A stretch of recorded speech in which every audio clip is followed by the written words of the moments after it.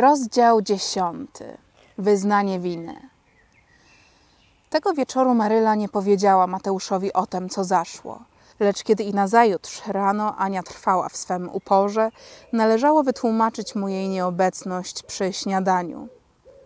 Opowiedziała więc owo zajście, starając się położyć nacisk na niesłychanie zuchwałe zachowanie dziewczynki. Dobrze się stało, że pani Małgorzata usłyszała parę słów prawdy. Jest to nieznośna kumoszka, lubiąca zawsze zajmować się cudzymi sprawami, rzekł Mateusz. Ależ Mateuszu, nie rozumiem cię w istocie. Wiesz dobrze, że sprawowanie Ani było naganne, a jednak usprawiedliwiasz ją. Niedługo powiesz, że w ogóle nie zasłużyła na karę. No nie, nie zupełnie, rzekł Mateusz trochę niepewnym tonem. Uznaję, że powinna otrzymać lekką karę, ale nie bądź dla niej zbyt surowa, Marylo.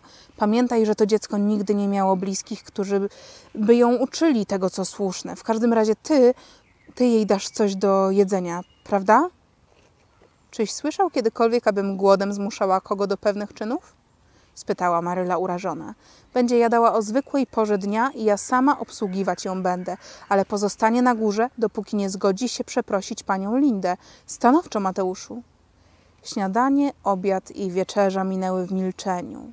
Ania bowiem była nieobecna. Za każdym razem Maryla zanosiła na facjatkę suto zapełnioną tacę, lecz potrawy wracały prawie nietknięte. Mateusz niespokojnym okiem przypatrywał się zawartości talerzy, kiedy wieczorem zostały odniesione do kuchni. Czyby Ania przez cały dzień nic nie jadła? Kiedy Maryla tegoż wieczoru poszła sprowadzić krowy z pastwiska do obory, Mateusz zajęty przy zabudowaniach gospodarskich wymknął się ukradkiem, jakby miał popełnić jaki czyn zbrodniczy i wpadł na schody prowadzące na facjatkę.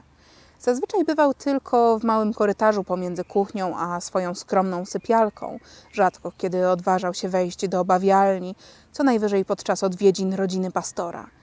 Na górze zaś był po raz ostatni, gdy pomagał Maryli wyklejać tapetą pokoik gościnny. Było to jeszcze przed czterema laty. Cicho przeszedł maleńką górną sionkę i stał parę chwil w milczeniu u progu pokoiku Ani. Wreszcie odważył się zapukać i, odemknąwszy drzwi, zajrzał wewnątrz. Ania siedziała u okna na żółtym krześle i smutnym wzrokiem patrzyła na sad. Wyglądała tak nędznie i nieszczęśliwie, że serce Mateusza ścisnęło się żalem. Cichutko zamknął drzwi i na palcach zbliżył się do niej. Aniu, szepnął jakby lękając się, że go kto usłyszy. Cóż ty porabiasz, dziecino?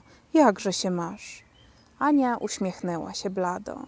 Bardzo dobrze, wyobrażam sobie wiele różnych rzeczy, a to pomaga do spędzania czasu.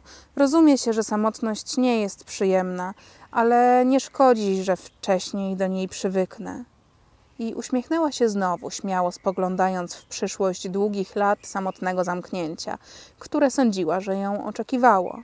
Mateusz przypomniał sobie, że należało szybko powiedzieć, o co mu chodziło, bo Maryla mogła nadejść w każdej chwili. Posłuchaj, Aniu, czy nie sądzisz, że lepiej byłoby uczynić to, co Maryla chce i pozbyć się tej sprawy? Szepnął. Wszakże wiesz dobrze, że będziesz zmuszona to uczynić, Aniu.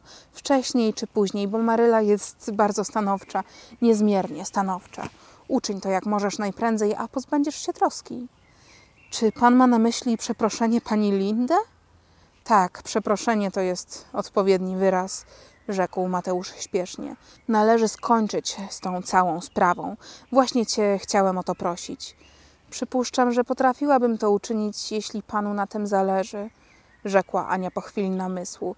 Teraz mogłabym powiedzieć, że jestem zmartwiona, bo jestem nią naprawdę, ale nie byłam wcale zmartwiona wczoraj wieczorem. Byłam wściekła. Całą noc byłam wściekła. Wiem o tym, bo zbudziłam się trzykrotnie i za każdym razem byłam równie zirytowana. Ale dziś rano wszystko minęło. Nie byłam już wcale zła, miałam tylko przykre jakieś uczucie tego, co zaszło. Wstydziłam się za siebie, ale nie potrafiłabym pójść wyznać tego pani Lindę. Byłoby to tak bardzo upokarzające. Dlatego postanowiłam, że raczej pozostanę tu przez całe życie, niż przeproszę tę kobietę. Ale teraz dla pana zrobiłabym wszystko, jeśli panu rzeczywiście na tym zależy. Bez wątpienia zależy mi na tym. Jest tak strasznie pusto bez ciebie na dole, więc idź i załatw to. Jesteś dzielną dziewczynką. Dobrze, odpowiedziała Ania z rezygnacją. Gdy Maryla powróci, powiem jej, że żałuje tego, co się stało. Bardzo dobrze, bardzo dobrze, Aniu. Tylko nie wspominaj Maryli, że ja mówiłem z tobą w tej sprawie. Pomyśli sobie, że wtrącam się do tego, co nie powinno mnie obchodzić. Dzikie rumaki nie wydrą z mojej duszy tej tajemnicy, obiecała uroczyście Ania. A zresztą, czy dzikie konie potrafiłyby wydrzeć komu tajemnicę? Ale Mateusz odszedł już, zdziwiony, że mu się tak łatwo powiodło. Maryla zaś powróciwszy została przyjemnie zdziwiona, usłyszawszy głośne wołanie z góry. Marylo! Cóż takiego? spytała, wchodząc do sieni. Żałuję, że się względem pani Lindy tak uniosłam i postąpiłam niegrzecznie. Chciałabym pójść przeprosić ją za to. Dobrze zrobisz.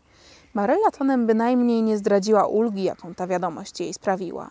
Bezustannie bowiem przemyśliwała, co uczyni, jeśli Ania nie zechce ustąpić. Przyjdę do ciebie, gdy skończę dojenie krów.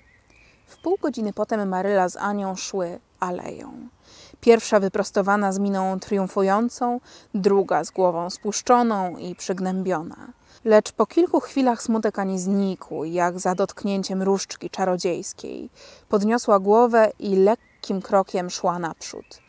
Oczy utkwiła w zachodzące słońce, a całą jej istotę przenikała jakaś gwałtem tłumiona wesołość. Maryla z niezadowoleniem zauważyła tę zmianę. Nie była to żałująca pokutnica, jaką pragnęła przedstawić srodze dotkniętej pani Lindę. O czym myślisz, Aniu? spytała. Myślę o tym, co mam powiedzieć pani Lindę, odrzekła Ania zadumana. Było to w porządku albo prawie w porządku. Lecz Maryla nie mogła pozbyć się wrażenia, że coś nie dopisało w jej programie kary. Ania nie powinna była mieć tak zadowolonej ani pewnej siebie miny. Z zadowoloną i pewną siebie pozostała Ania do chwili, gdy znalazła się wobec pani Lindę, siedzącej nad robotą u okna swej kuchni. Wtedy radość znikła. W każdym rysie dziewczynki można było odnaleźć wyraz ponurego żalu. I oto zanim jeszcze panie zdążyły wymówić wyrazy powitania, dziewczynka nagle upadła na kolana przed zdumioną panią Małgorzatą i błagalnie wyciągnęła ku niej splecione dłonie. Ach, pani Lindę, jestem tak bardzo zmartwiona rzekła ze drżeniem w głosie. Nie potrafiłabym wypowiedzieć całego mego żalu, gdybym nawet użyła do pomocy słownika. Niechże się pani domyśli. Postąpiłam niegrzecznie i zmartwiłam tych drogich opiekunów, Marylę i Mateusza, którzy pozwolili mi zostać na Zielonym Wzgórzu, pomimo, że nie jestem chłopcem. Jestem szkaradną i niewdzięczną dziewczyną. Zasługuję na karę i na wydalenie z domu ludzi szanowanych. Było to bardzo brzydko, że uniosłam się, dlatego, że mi pani powiedziała prawdę. Mam rude włosy, jestem piegowata, chuda i brzydka. To, co pani powiedziałam, jest prawdą, ale nie powinnam tego wyrzec. Ach, pani Lindę, proszę, proszę, wybacz mi. Jeśli mi pani odmówi, będzie to dla mnie zmartwienie na całe życie. Przecież pani nie zechce obarczyć smutkiem całego życia biednej małej sieroty, jeśli była ona nawet gwałtowną. O, pewna jestem, że pani nie uczyni tego. Proszę, powiedz pani, że mi wybaczasz. Ania splotła dłonie, spuściła głowę i czekała na wyrok. Nie można było wątpić o szczerości tego wyznania. Brzmiała ona w każdym wyrazie i Maryla, zarówno jak i pani Małgorzata, były o niej przekonane. Lecz pierwsza zrozumiała także, i to ją niezmiernie gniewało, że Ania napawała się tą sceną poniżenia i upajała patetycznością, do której znalazła sposobność. Gdzież była ta uzdrawiająca kara, którą Maryla wynalazła? Ania obróciła ją w pewnego rodzaju zabawę. Pani Lindę w gruncie niezła kobieta, ale umysł niespostrzegawczy. Nie potrafiła tego zauważyć. Widziała jedynie, że Ania bardzo wymownie spełniła akt przeprosin i wszelki gniew stopniał w jej duszy. Wstań, że wstań, dziecko, rzekła serdecznie. Przebaczam ci bez wątpienia. Być może iż powiedziałam ci trochę zbyt wiele wtedy wieczorem, ale widzisz, taka ze mnie szczera, otwarcie, wszystko wypowiadająca kobieta. Nie trzeba tak bardzo brać sobie do serca tego, co mówię. Nie można zaprzeczyć, że włosy twoje są bardzo czerwone. Lecz kiedyś znałam dziewczynkę, właściwie to była moja koleżanka, której włosy, gdy była mała, były również czerwone, jak twoje, a gdy dorosła, ściemniały i przybrały piękny, kasztanowy kolor. To też nie byłabym wcale, ale to wcale zdziwiona, jeśli y, by to samo zdarzyło się i tobie. O, pani Lindę! Ania wstała i westchnęła głęboko. Pani dała mi nadzieję.